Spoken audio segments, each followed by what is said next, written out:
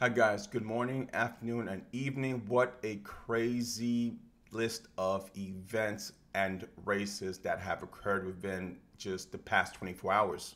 Let's get right into it, unfiltered. I'm just going in because it's nationals. There's so many races, and you can't just be making like fancy cut videos. So this is a broadcast that I'm doing live at my base here in the middle of Michigan. All right, so let's take a look. I want to focus on the women's 5000 because it was such an incredible race, but honestly, it was expected. Top three in the finals, Elise Cranny, incredible time of 32. Again, eh, uh, this was not spectacular to me. I knew they were going to hit these marks. It was expected. But regardless, congratulations.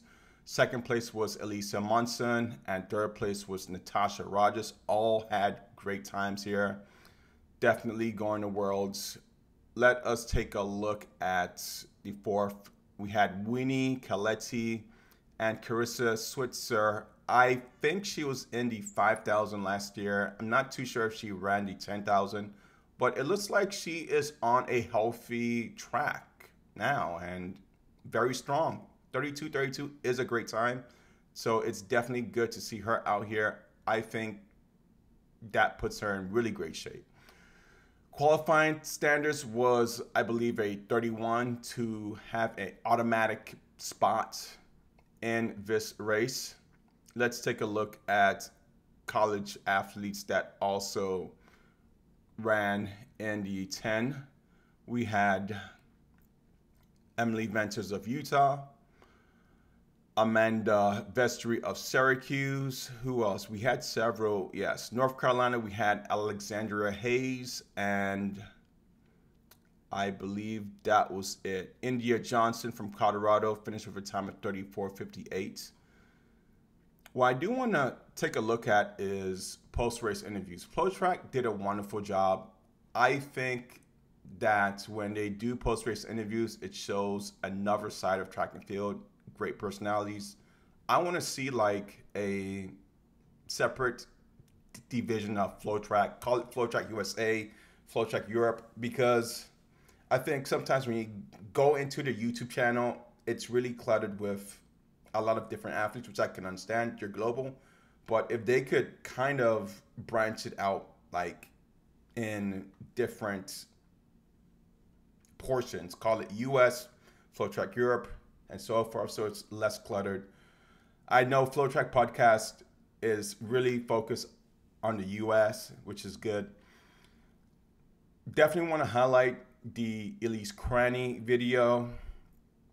Post race interview, I thought was excellent. Alicia Monson as well. Both ladies did say that they are running the 5,000, which is not a surprise. I think they still have a lot left in the tank.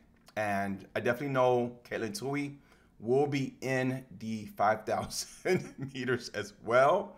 Let's just say it's going to be really competitive, really strong out there. And I definitely see Elise Cranny and Alicia Monson definitely dominating. I don't know how these ladies do it. Elisa, Elise Cranny, from what I understand, was supposed to run the 1500 as well. That's literally a speed race. I'm glad she didn't run it. She decided last minute, hey, I'm not gonna do it. I'm just gonna do a 10k and later on the 5k, which I think was a smart move. I think she's also based out in the Eugene, Oregon area, from my understanding. And when they run altitude, hey, it sounds like they love it, so which is great.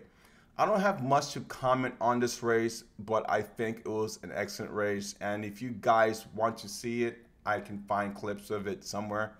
NBC should have it on. But let me turn my attention back to other things I wanted to notice or spotlight. No, that's pretty much it. Weini Kelati, 3230.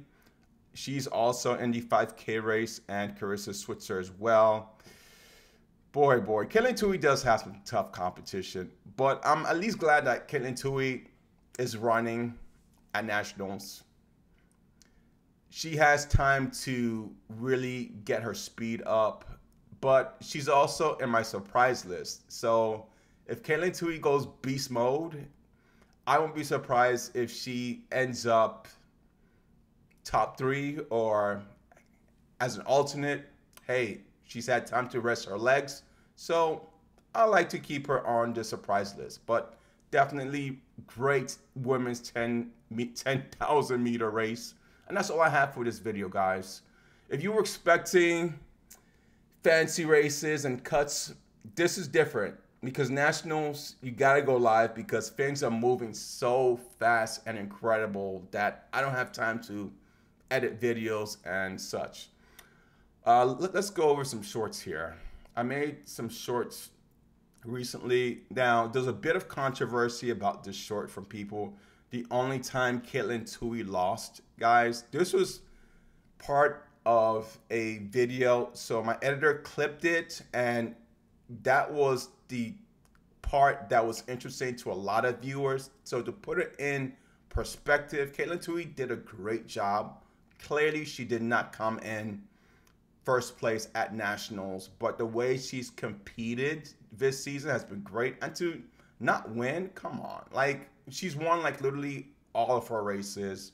So I don't think it's it's like fair to look down on just because she did not win anything in the finals. You got to think of the bigger picture here, which is that she had the endurance, she had the stamina, now, if she does run the 5 and 10 or 15 and decides to stay one extra year at NC State, I think she will have enough strength to really crush it. So this was a test, and I think a lot of some people were overreacting to the short clip. I thought it was like okay, you know, it was great, but again, it was taken from the long format video. Uh, short clips has been doing well. You guys liked it. I'll, my editor will be doing more. He works independently, so he just goes into my videos and looks at which parts are interesting. I don't know how he figures it out, but he's able to do it and he's able to make some great cuts and find clips. One thing I did take note is that Robert did point out that the clips did not relate or tie into the actual NCAA race. So I'll at least let my editor know, hey, make sure you get the right clips before making these shorts. So that's one of the recommendations that I got from Robert. Um, yeah, the Katelyn Tuohy shorts has been killing it. The Abby Steiner shorts has been killing it as well. What else?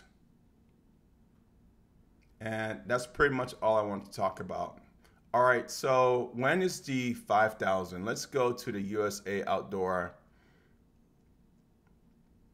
Um, I think the 5,000 is on the last day. Let's go to the schedule here. July 9th. Yes, it's on July 9th. And if we go into it, women's 5,000 meters. Oop, that's men's. I'm glad there's a separation between women's and men's due to all the politics. Okay, women's start list. Let's take a look. We got Hannah Steelman, Katie Wasserman, Maddie Alm, Katie Camarena, Ali Boshaliski, Katie Izzo, Whittni Morgan, you're gonna crush it. Anna Ulcer, Fiona O'Keeffe, Andrea Runnensfeld, Taylor Werner, Katelyn Tuohy, 1503, her fastest time this season, personal best. Emily Lampiri, Abby Nicholas, Adna Krugat, Bethany Hayes, Natosha Rogers, Josette Andrews, Elise Cranning. Obviously, you're going to be there. Whitney Coletti, going to be there. Karissa Schweizer, Alicia Monson, definitely. Karissa Schweizer, excuse me, guys, that's my phone. I hate when my phone goes off when I'm making a video. Should be responsible and turn that thing off. Alicia Monson, Ellie Haynes, and Emily Infeld. I think everyone will be waiting to see the women's 5,000, and that's gonna be really badass. All right, guys, please like, share this video, and have a great day.